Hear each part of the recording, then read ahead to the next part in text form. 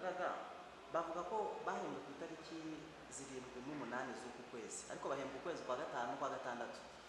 Mu by'ukuri ukwezi kwa karindwi n'ukwa munani kugiye kurangira ni byo navugaga babitegereza ryari? Icyo kibazo cyo kirahari ko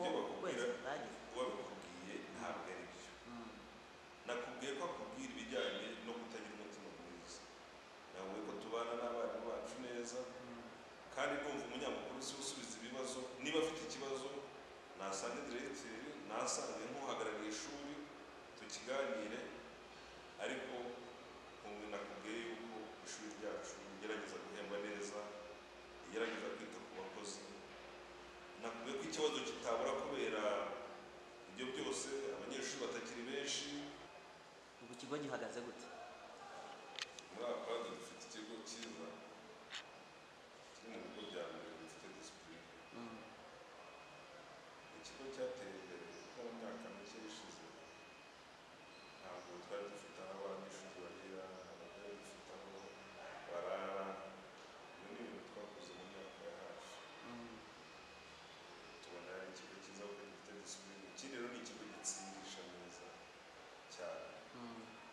hari amakuru duherutse kwakira y'abarimu bamwe bahigisha bavuga ko badahembwa neza bahembwa ibirarane ugasanga baguma muri direyi kandi baba baragiye bafata ibintu bigiye bitandukanye hari n'ibyo bagomba kuba bagomba kuzuza harimo no gutunga umuryango. Ariko bakavuga ko bahembwa nabi bityo bigatuma imibereho yabo itagenda neza. Icyo kibazo ubundi kirahari muri akadi ntabwo.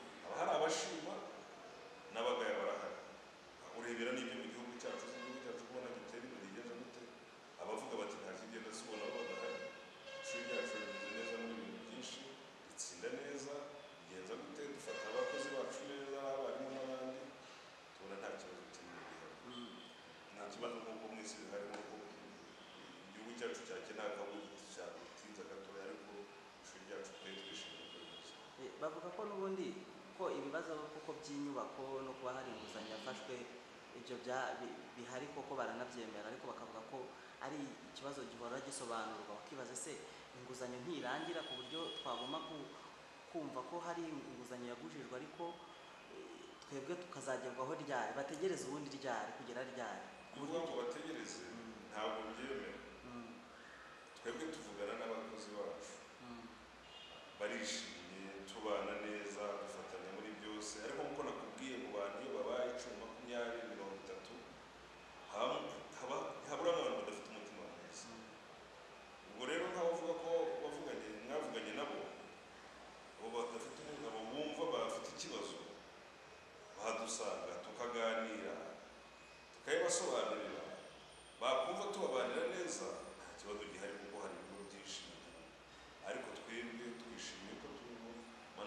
ryacu twishimiye ko tubana n'abakozi bakorera pade twishimiye ko tubana n'abarimu bakorera pade ariko ibyo twasobanukiwe muri egisperiyanse ni uko uko byagenda kose hatajya habura n'abantu habura abantu badashima naho waba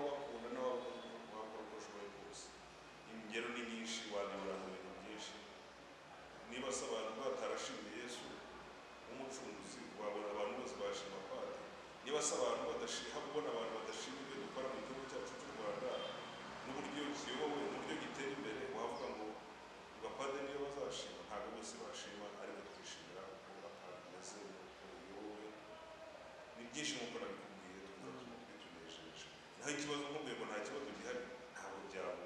Ariko ni ibibazo dushakira igisubizo kandi abafite umutima mwiza tubana neza tukumvikana nta kibazo gihari. Eh, ni- ni byo navugaga bavuga ko bahembwe ku itariki zirindwi n'umunani z'uku kwezi. Ariko bahembwa ukwezi kwa gatanu n'ukwa gatandatu.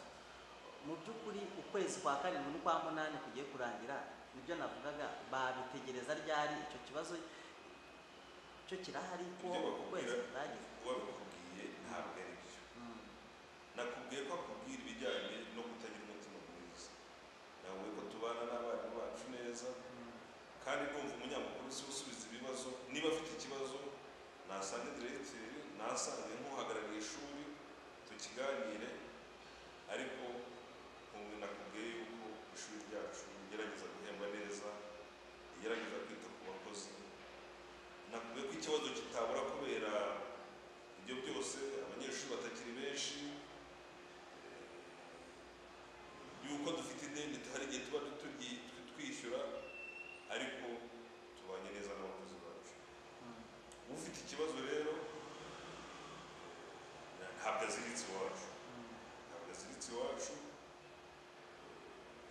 ariko dushobora no kumvikana hari umuntu aba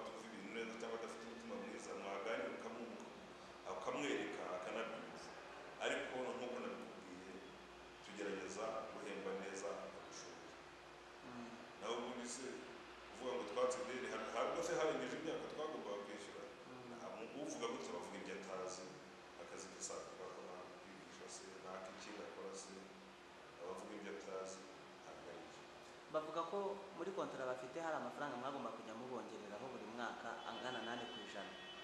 Ariko bavuga ko ayo mafaranga bataya- batajya bayabona. Kontara ubundi niko ibivuga cyangwa barabeshya.